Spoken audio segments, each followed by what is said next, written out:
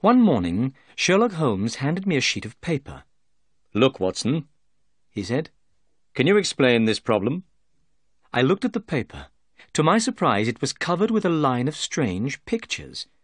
These pictures looked like little dancing men. A child must have drawn these, I said. Where did you get this piece of paper, Holmes? It arrived by post this morning, answered Holmes.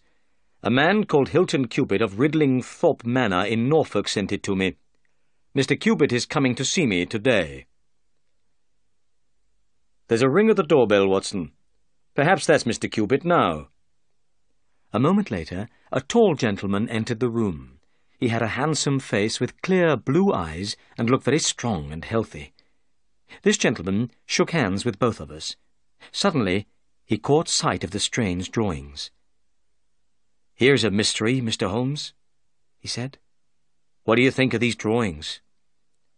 They look like children's drawings, replied Holmes. But why do you think they are important? I don't, Mr. Holmes. But these drawings are making my wife very frightened. That's why I've come to see you. I want to find out what they mean. Holmes held up the paper, so that the sunlight shone through it.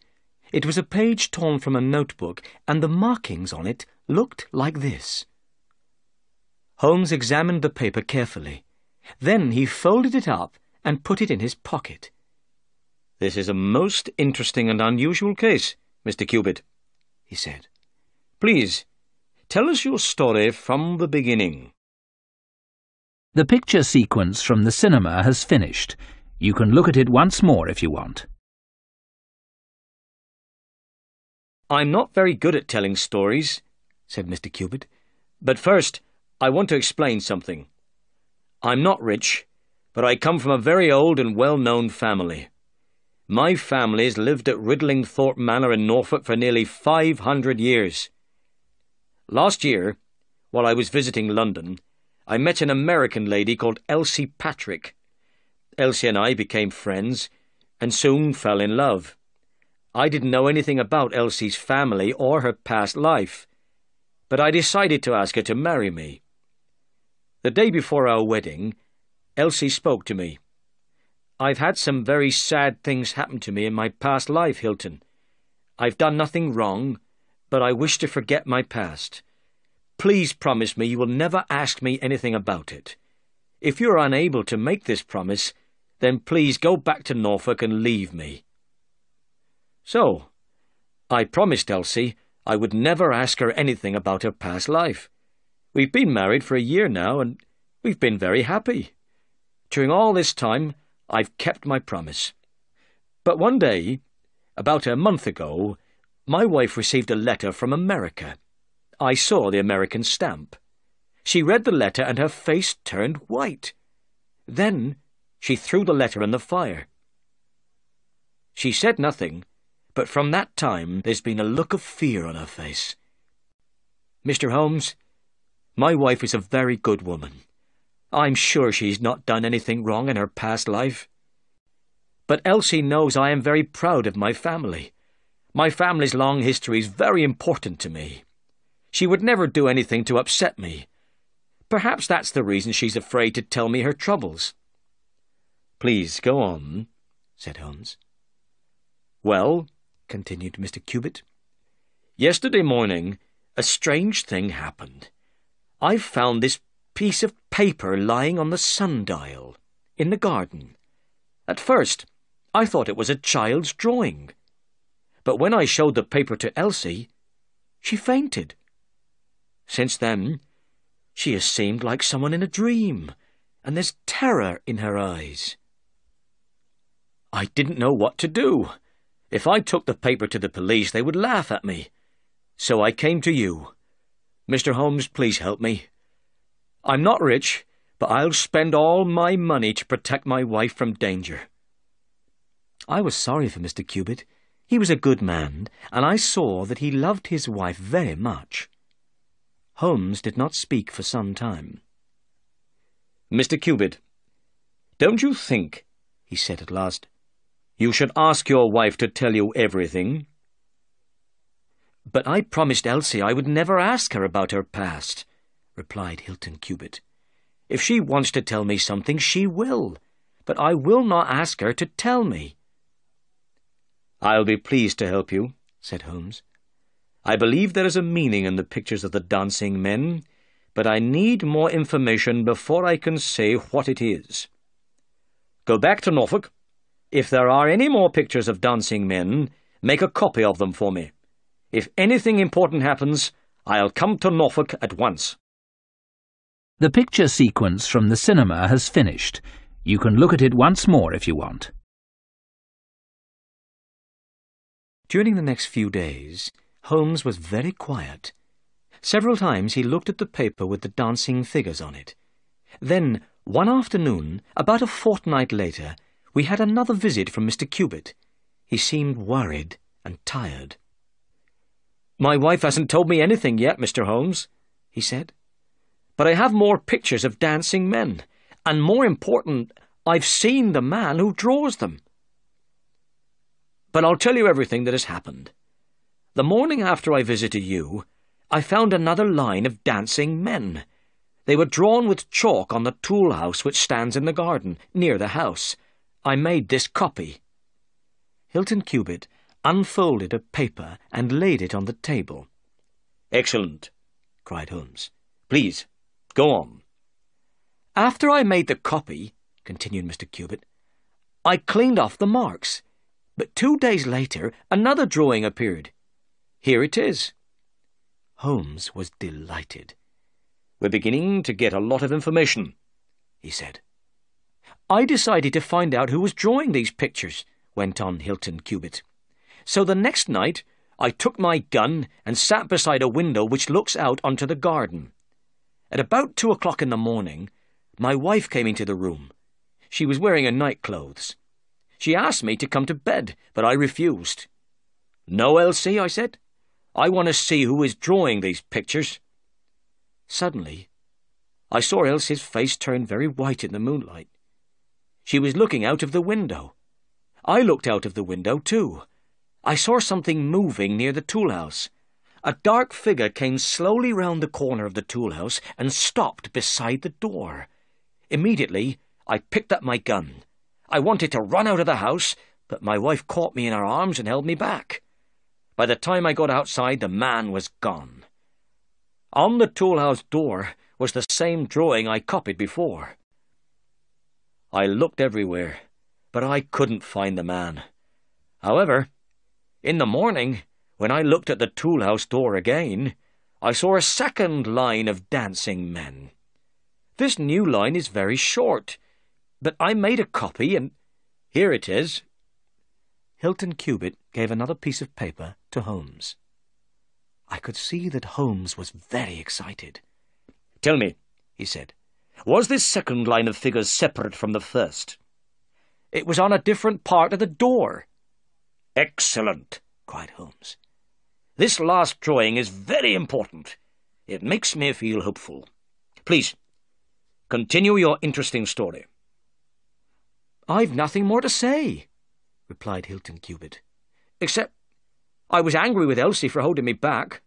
I'm sure she knows who this man is and what these pictures mean. Now I must go back to Norfolk. Elsie is very frightened, and I don't want to leave her alone at night. Well, said Holmes, please leave these pictures with me. I will examine them carefully. I think I'll be able to solve the mystery soon.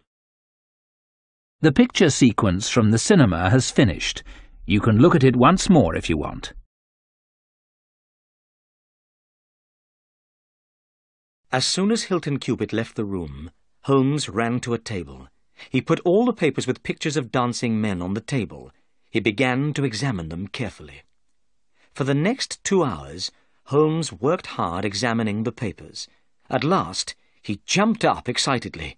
Then he sat down again and wrote out a long telegram.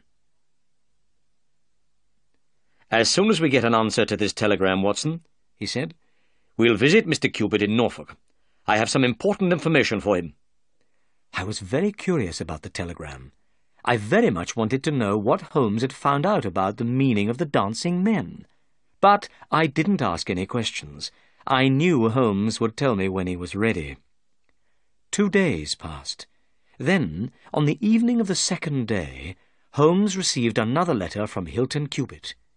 In this letter, Mr. Cubitt said he had found a new drawing of dancing men. He had found the drawing that morning on the sundial in the garden. Mr. Cubitt had made a copy of the drawing in his letter. Holmes examined these pictures carefully. Suddenly, he jumped up. We must go to Norfolk at once, Watson, he said. At that moment, a telegram arrived for Holmes. It was the answer he had been waiting for. Holmes read the telegram, and his face looked serious. Mr. Cubitt is in terrible danger, he said. He needs our help. But unfortunately, we were not able to go to Norfolk that evening. It was late and the last train had gone. The next train was not until the morning. In the morning we travelled to Norfolk. At the station, we asked our way to Ridlingthorpe Manor. Are you the detectives from London? the station master asked. Why do you think we are detectives from London? asked Holmes in surprise. Because the Norfolk police are already on their way to Ridlingthorpe Manor, said the station master. But perhaps you are doctors. The lady isn't dead yet. You may be in time to save her life. Holmes looked very worried. What do you mean? he asked. What has happened at Ridlingthorpe Manor? It's terrible news, replied the station master. Both Mr. Hilton Cubitt and his wife have been shot. Mr. Cubitt is dead, and his wife is seriously injured. The picture sequence from the cinema has finished. You can look at it once more if you want. At once, Holmes hurried to a carriage. During the journey to Ridlingthorpe Manor, he did not speak at all, but I could see he was very worried. Holmes had known that Hilton Cubitt was in danger, but he had not arrived in time to save his client. At last, we could see a large old house through the trees. This was Ridlingthorpe Manor. As we came near the front door, I saw the tool house and the sundial in the garden. These were the places where Hilton Cubitt had found pictures of dancing men. A carriage was standing outside the front door, and a small man was getting out. This man introduced himself as Inspector Martin of the Norfolk Police. Holmes introduced himself to Inspector Martin. Inspector Martin was very surprised when he heard my friend's name. But, Mr. Holmes, he said, the crime was committed only a few hours ago, at three o'clock this morning. How did you get here from London so quickly? When I left London, I didn't know a crime had been committed, replied Holmes. I was on my way here to prevent a crime, but I'd arrived too late. Now, Inspector Martin, shall we work together on this investigation, or do you want to work alone? I'd be very pleased to work with you, replied the inspector. Good, said Holmes. Then let's try to find out what happened.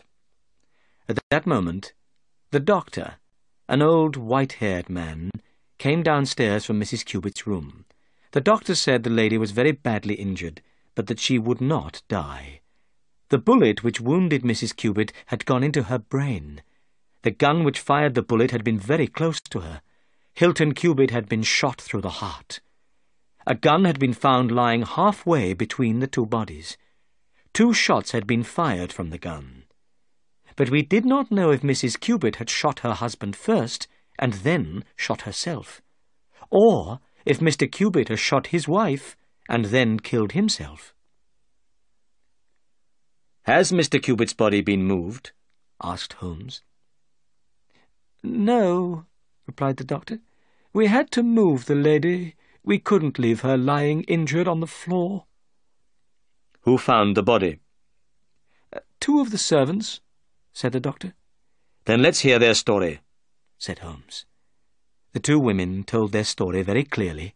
They had been awakened from their sleep by a loud noise. A minute later, they heard another noise. Both women ran downstairs from their rooms. The door of a downstairs room was open, and Mr. Cubitt lay dead on the floor. Near the window, his wife was sitting with her head against the wall. One side of her face was red with blood. The window was shut, and the room was full of smoke and the smell of gunpowder. Immediately the two servants sent for the doctor. When he arrived, they carried Mrs. Cubitt upstairs. The servants did not understand why the crime had been committed. Mr. and Mrs. Cubitt had been in love with each other and had never quarrelled. Tell me, said Holmes, when did you first notice the smell of gunpowder? When we ran out of our rooms upstairs, replied the women. Good, said Holmes. Now let's examine the room downstairs. The picture sequence from the cinema has finished. You can look at it once more if you want. The room was small, with a window looking onto the garden. Mr. Cubitt's body lay on the floor. You can take away the body now, said Holmes. Then he turned to the doctor. Have you found the bullet which injured Mrs. Cubitt? he asked. Uh, no, replied the doctor. The bullet is still somewhere in her brain.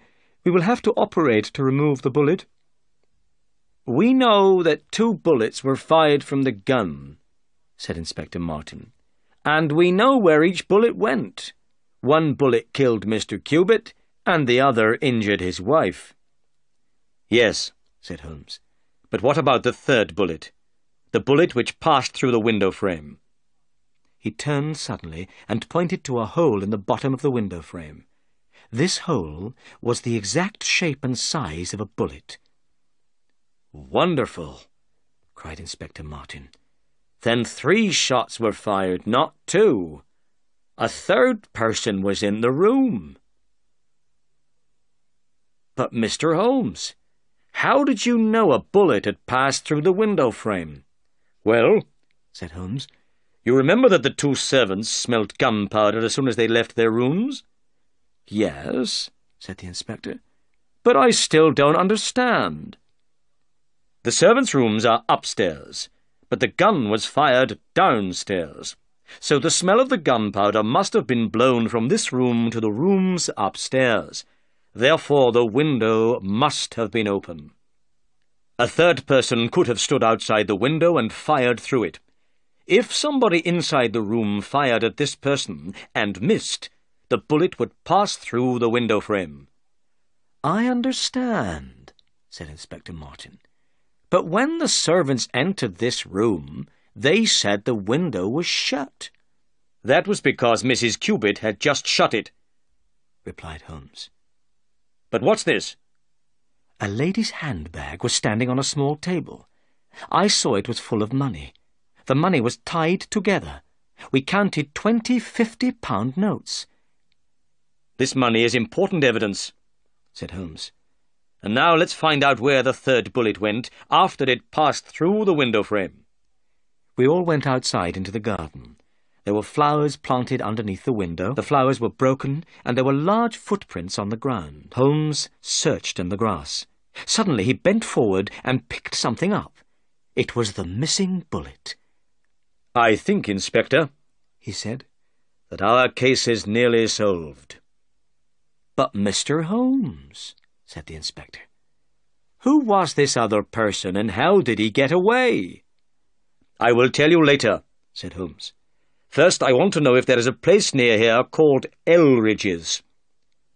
We asked the servants, but none of them had ever heard the name.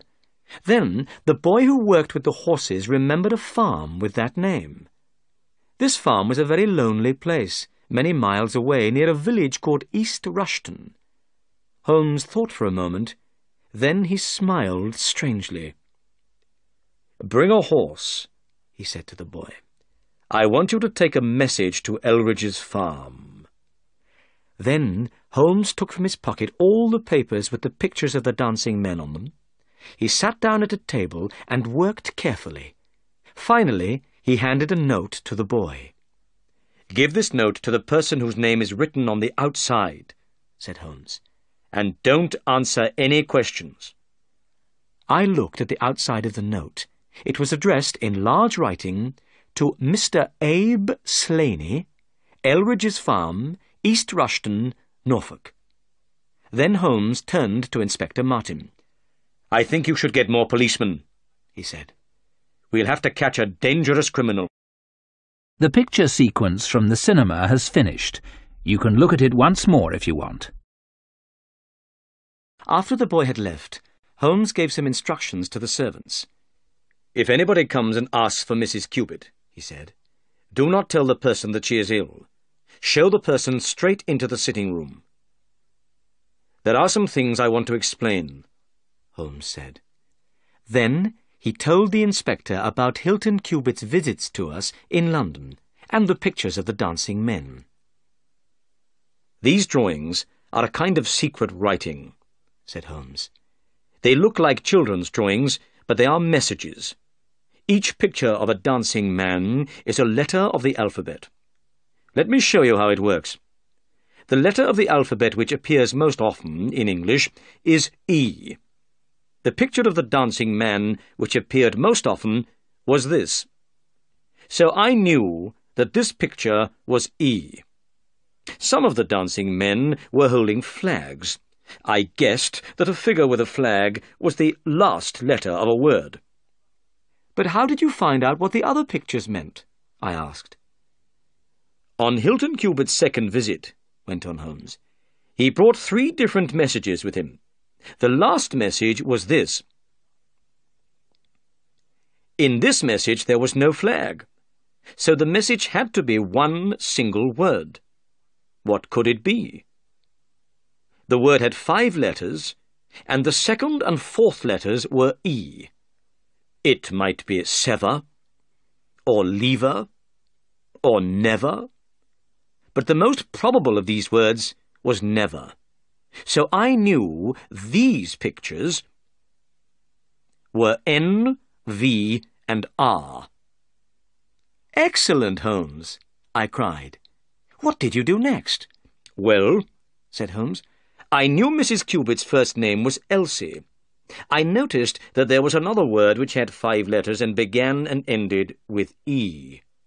So I guessed that these probably were L, S, and I. In one message, the word Elsie was written twice. In this message, the word before Elsie had four letters and ended with E. I guessed the writer was asking Elsie to do something. So, now I looked for an English word of four letters ending in E. The best word I could think of was come. So, now I knew that these were C, O, and M. Then I looked again at the first message which Hilton Cubitt brought us. I used the figures holding flags to divide the message into words. I wrote out the message, putting dots for the letters I didn't know. Dot M, dot E R E, dot dot E, S L dot N E dot. The first missing letter had to be A, and the second letter had to be H. Am here a dot E S L A N E dot. Clearly, the two missing letters were part of somebody's name. So, it must be Am here Abe Slaney. Then I looked at the second message again. This message worked out like this. A dot E L R I dot E-S.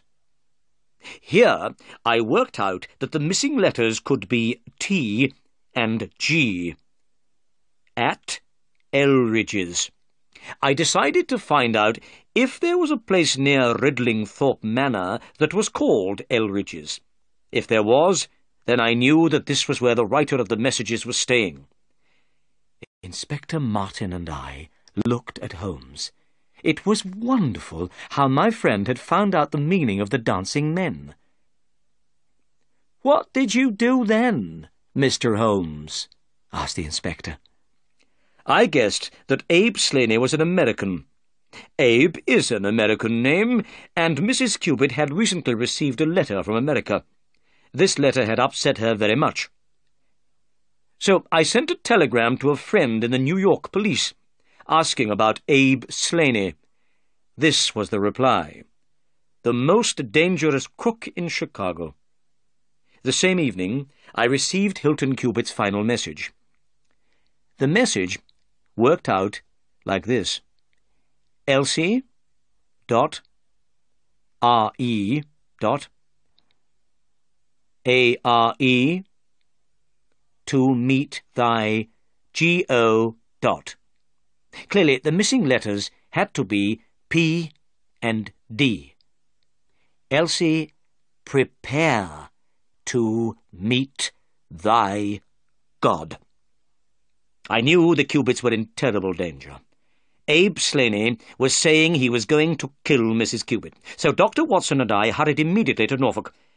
But unfortunately, we were too late. Hilton Cubitt was dead. What about Abe Slaney, Mr. Holmes? asked Inspector Martin.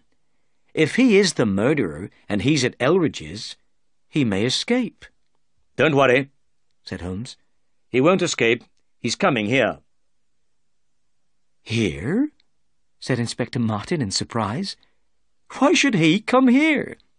Because I have written and asked him to come here. Holmes stood up and walked to the window. Look! Here he is. The picture sequence from the cinema